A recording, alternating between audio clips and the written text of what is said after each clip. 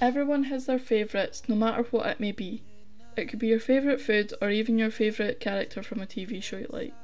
This is the same for roller coasters and parks. Everybody has their absolute favourite rides and their favourite parks. And every time you adventure out to a new park with rides you've never been on before, it's always at the back of your mind wondering, are any of these rides going to make it in my top 10? Or will this be my new favourite park? There's always at least some debate about what the best ride in the world is. But here's the thing, it's all about what you like and something you love could be someone's worst nightmare. But it doesn't matter because you like it and it still belongs in your favourites list. Today I'm going to be talking about my top 10 rides. And for me, this list was like very hard to narrow down. I've been on over 150 roller coasters across both Europe and America, and it's fair to say I do love them all, but there's some that I have enjoyed more than others. So, this is my top 10 roller coasters.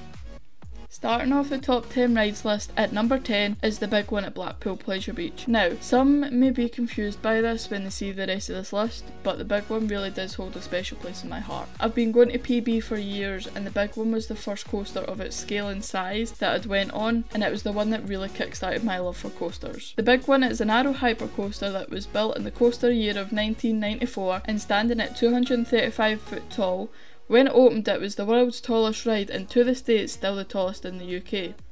Hitting a top speed of 74 miles per hour, the out and back layout measures nearly a mile long, and the big one is another one of Arrow's masterpieces. Some may say that the big one isn't even considered the best in the UK, but for me, it's the legacy behind the ride and also behind the manufacturer. Arrow have been behind some of the theme park industry's defining moments. They broke down the barriers that made the way for the rides we have today.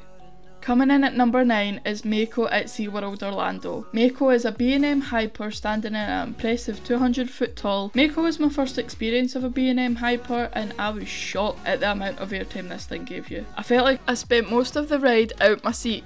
Mako has the B&M clamshell restraints and this lap restraint changed my opinion on this type of restraint. I'm somebody who's always preferred the over the shoulder restraints as I feel like it's like a bit of adrenaline before the ride starts. As you're pulling it down, you know what's about to happen. But with these clamshell restraints, I never experienced what it was like to have these on a coaster of this scale. And just the restraint, no seatbelt, no nothing else added, and the amount of airtime it allowed you to experience was unbelievable. I hadn't really experienced this feeling of freedom on a roller coaster before. And my favourite way to get the max maximum airtime, this is a tip for you, is to have your arms up in the air but also your legs up as well. And you generally spend most of the time out your seat. It's probably one of the most fun ways to experience the B&M Hypers or their Gigas, whatever it may be. It's just so fun to spend most of the ride out your seat. Coming in at number 8 is Kumba at Busch Gardens Tampa. Kumba is a steel sit down roller coaster built by B&M and at its time of opening in 1995, Kumba set the industry standards. It had the record for the most inversions on a roller coaster and the tallest vertical loop. Kumba is again a classic you can't miss. The layout is great and that vertical loop that goes over the lift hill is still a fantastic element. Even still to this day, Kumba never disappoints. It offers a great experience, even though now it won't have the most inversions or the tallest vertical loop, it still packs a punch. When I get to Busch Gardens, I'll always make sure to get a few rides in on Kumba. Coming in at number 7 is Accelerator at Knott's Berry Farm. Do you fancy going from 0 to 82 miles per hour in 2.3 seconds? Well, that's exactly what Accelerator does. Accelerator is an Intamin launch coaster and is only one of four built in the US. Everybody seems to love this launch system and it really makes me scratch my head that it's been 11 years since Intamin last built one of their launch coasters. Hearing those metal plates drop to the earth, there is nothing more exciting than knowing that it's going to be instant speed rather than that long lift hill. The force you feel from that launch is unforgettable. Being pinned back in your seat, flying down the launch, then going over that top hat. It is such a special coaster. Coming in at number 6 is Tatsu at Six Flags Magic Mountain. Tatsu is a steel flying coaster and it is the tallest and the fastest flying coaster in the world. The cars allow riders to ride in a face down position for the ultimate flying experience. The strong layout is what helps set Tatsu apart from other flyers I've been on. Tatsu also sits high above the ground, making that feeling of flying more realistic. This is one forceful ride. The dive loop on Tatsu is insane and unlike anything else I've experienced. The experience of flying feels surreal and this model definitely is one of my favourites. The The adrenaline you feel when the seat puts you in that flying position is unreal. It really makes your dreams of flying come true.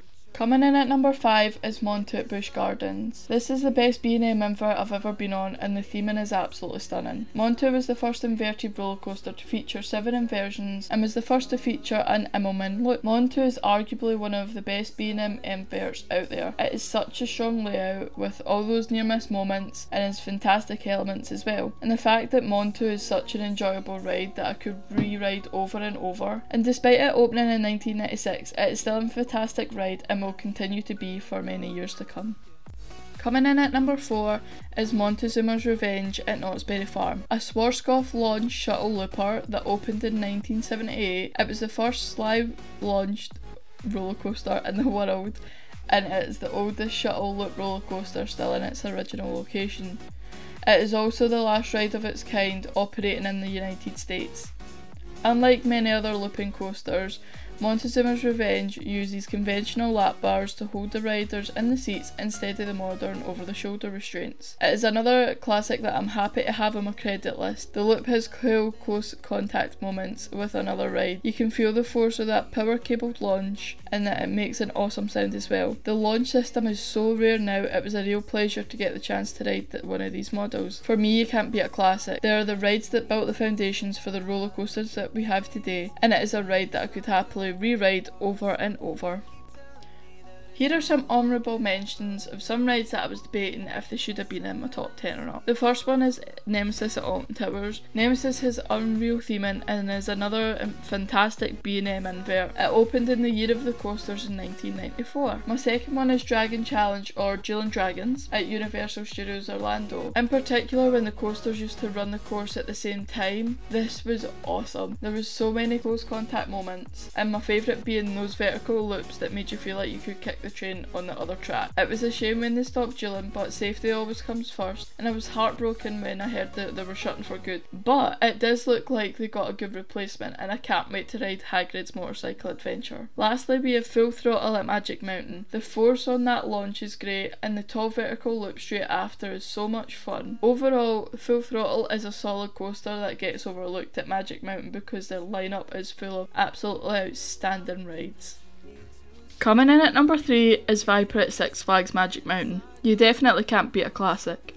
Viper is an arrow looper which is the model that changed the theme park industry and invented the modern inversions.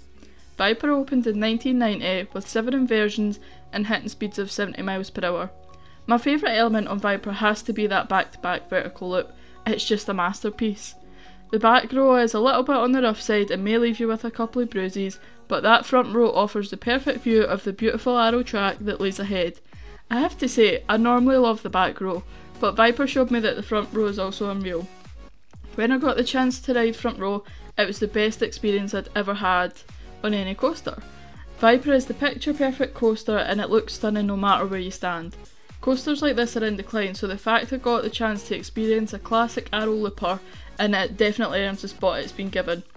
One coaster I always wanted to ride was Vortex at Kings Island, but when I found out it was closing, I started looking for other rides, and as soon as I seen that POV of Viper, I knew it was going straight on the bucket list.